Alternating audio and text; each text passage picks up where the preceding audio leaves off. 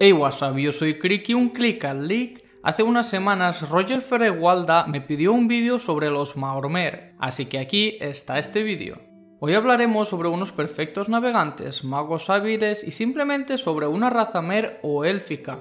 Los Maormer también son conocidos como los elfos tropicales y los elfos del mar. Solo residen en Piandonea, que está al sur de la isla Estivalia, la tierra nativa de los Altmer o los Altos Elfos. Desde tiempos inmemorables, la flota de los Maormer asaltaba muy a menudo a los territorios costeros de Tamriel, principalmente la tierra natal de los Altmer. Sí, a esa misma isla, Estivalia. Se desconoce de dónde vino el problema entre estas dos razas élficas, pero se sabe que la separación de los elfos tropicales de los otros Mer ocurrió en la era merética en Altmeris, el antiguo hogar de todos los elfos. En esos tiempos solo existía una sola raza que unía a todos los elfos llamada Altmer, o también llamada los primeros o antiguos. Y no os equivoquéis, que los Altmer y los Altmer no es lo mismo. Los Altmer son los altos elfos y de piel dorada, los que son orgullosos e elitistas, y la raza preferida de Roirek.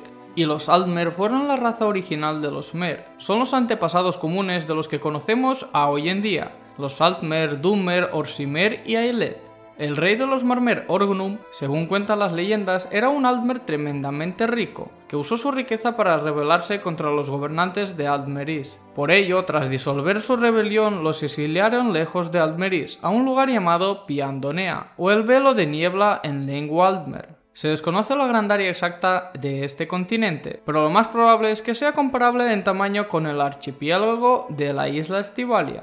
Piandomea es una jungla marina impenetrable, con árboles que caen al agua y algas depredadoras, que capturan a todo vivo excepto a los marineros Maormer. En las mismas aguas se esconden las mortales serpientes del mar que están domesticadas por los elfos tropicales para su uso como bestias de guerra, y la espesa niebla envuelve tanto el continente como las aguas cercanas. Asimismo, sirven de límite pero también como escudo contra las amenazas externas hacia ellos. Así que pocas personas, aparte de los propios Maormer, son capaces de navegar por esta parte del mundo. Cuando Potema se reunió con Orgnum, que venía acompañado de traductores, Potema describe a los Maormer como una raza pálida con ojos y piel blanca. Su idioma nativo parece ser muy diferente de todos los demás idiomas conocidos por la gente de Tamriel, ya que todos los que han podido oírlos lo describen como un conjunto de sonidos incomprensibles. Pero por todo lo demás, los elfos del mar son muy similares a sus primos hermanos los Altmer. Piandonea y todos los Maormer están gobernados por el rey Orgnum, un mago inmortal que se vuelve más joven con cada siglo, ya que pese a ser desterrado de Altmeris hace miles de años, no da muestra de envejecimiento. Algunos incluso creen que Orgnum es el dios serpiente Satakal, del panteón Yokudano de los Guardias Rojos. También poseía un cofre mágico, que siempre estaba lleno de oro, sin importar cuánto hemos sacado de ahí. Con este artefacto, Orgnum logró construir un estado próspero, el cual fue considerado como el más poderoso en todo Nirn. Los Maormer practican una poderosa forma de la magia de la serpiente. Con esto, ellos han domado a las serpientes marinas usándolas como monturas y bestias de guerra. Por cierto, una cosa antes de que se me olvide, y es que en lo que más se parecen los Maormer a los elfos altos es que los dos se consideran como una raza superior. Se consideran como la raza preferida de Altmeris. Y también dicen que la raza Altmer solo son unos bastardos y que no son dignos de vivir en la isla Estivalia. Incluso cuentan historias como si no fuera verdad de que esta raza fue expulsada de Altmeris, sino que por el contrario su rey Orgnum llevó a los Maormer a Piandonea, para así no vivir junto a los bastardos de los Altmer. Así que no es sorprendente que por el odio la flota mormera atacaba las costas de las islas estivalias en muchas ocasiones hasta la tercera era.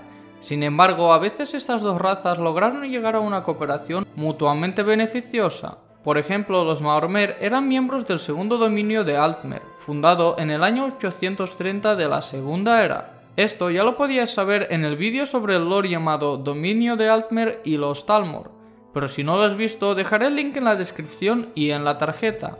La última aparición registrada de los Marmer fue cuando Potema, la mismísima reina loba, contactó con Orgnum para que le ayudara a destronar al emperador, su hermanastro Anticio VII, en el año 110 de la Tercera Era y fue anomenada como la Guerra de la Isla. Como parte de los preparativos de este intento de invasión, los Maormer visitaron a la reina Potema en soledad, con la que pactaron que a cambio de su apoyo militar, cuando ellos conquistaran Tamriel, harían a ella emperatriz. También se dice que esa noche Orgnum compartió lecho con Potema.